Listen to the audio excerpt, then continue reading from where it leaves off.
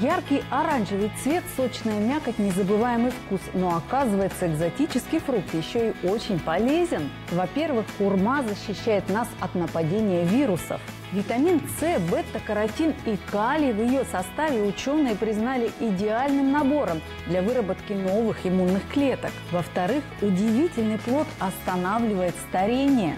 Тот самый вяжущий вкус обусловлен катехинами, а это антиоксиданты, которые охраняют наши клетки от разрушения свободными радикалами. Кстати, самое большое количество катехинов в шкурке, которую некоторые срезают, но именно в ней и источник омоложения. Ну и в-третьих, хурма – природный диуретик и освобождает организм от отеков. Ее нежная мякоть – это пищевые волокна, поэтому также улучшается работа кишечника.